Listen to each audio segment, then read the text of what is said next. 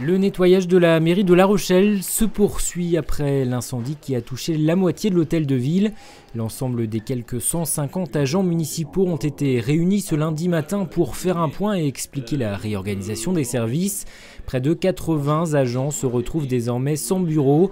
Les autres, une soixantaine, pourront intégrer l'hôtel de ville une fois seulement que la sécurité du bâtiment sera assurée et que les branchements électriques et informatiques seront rétablis.